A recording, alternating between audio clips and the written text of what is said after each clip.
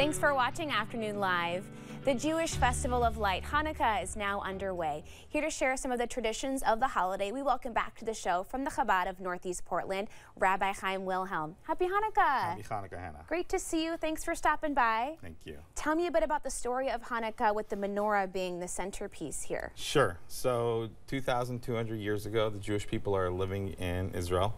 Um, and the Assyrian Greeks conquer the with Alexander the Great, they conquer everywhere around Israel and Israel itself. Uh, after many years, they um, actually take over the temple and the where the Jews served, and the um, Jews want to reclaim the temple. And after a, a, miraculous battle, it was a small group of people that won, the Maccabees. Um, they reclaim the temple and they want to rededicate it. Mm -hmm. uh, one of the things that they were unable to do was find oil for the menorah, which is a seven-branched candelabra um, that they had in the temple. They find a little jug of oil, enough for one day. Uh, as I've uh, explained to students who I talk about nowadays, it's like having a cell phone battery that is only able to last for five hours. That's a good and analogy. exactly.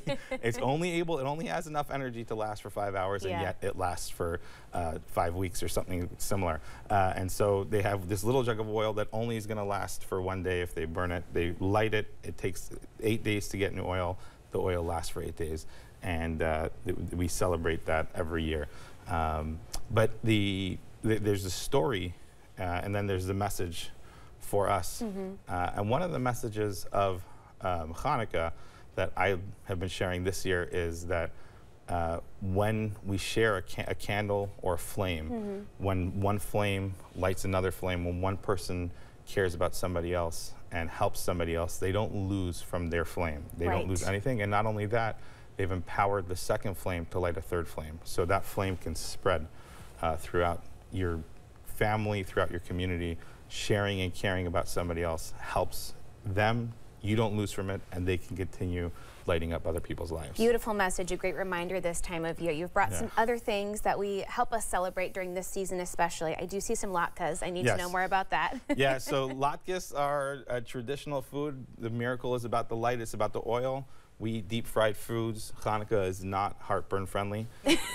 um, so we eat deep fried foods. Some people eat latkes, some people eat uh, jelly donuts. Uh, so we brought some latkes, and everybody Beautiful. who eats latkes, they want something to dip them in. So we have some applesauce. Okay. I have yet to find the source of a specific tradition with the applesauce besides okay. somebody liked it. Tastes good. and the yes. gold coins yeah, here as well. So it's chocolate coins. It's it's just tradition and these are milk chocolate coins. Uh, this is the packaging. And uh, it's, it's, that is actually connected with the game of dreidel mm. that we play. Um, it's a traditional Hanukkah game. Uh, when the, the Greeks not only took over the land of Israel, they also outlawed the study of the Torah, the Jewish tradition, and the observance of uh, mitzvot, of the Jewish customs. Mm. Um, and so there was a group of people who wanted to continue studying. Yeah. Um, I, again, I tell my students that this was a little odd. Usually your, your teacher, if you're not listening to them, you're playing a game, the teacher looks at you, you hide right. what you're playing with and look in the book. They had to do the opposite. They would Total have their opposite. book. If the Greeks would come by, they had to hide the book and then they would pull out a little top, a game. Okay. So, and, and the game is dreidel. It's very simple. It, it involves chocolate coins. Yes. But um, the, you spin it okay. and oh, I'm not as good as you. Yeah, it takes a little bit of time. To practice. There we go. Yeah, that's that's pretty good. And then I'll just pla place it down, and depending on what it lands on, will okay. depend on what you get from the pot, oh, etc. Nice. But um, th but there is meaning. Each yeah. there's a letter, and this dreidel, which is homemade, um, is a little larger, and you have the nun, the gimel, the hay, and the shin, and that stands for Nes Gadol Hayasham, or a great miracle happened there. And yeah. we are celebrating the dreidel in a special way.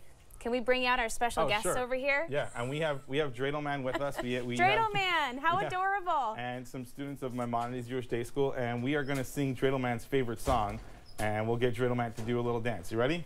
Yeah. Take it away. Oh,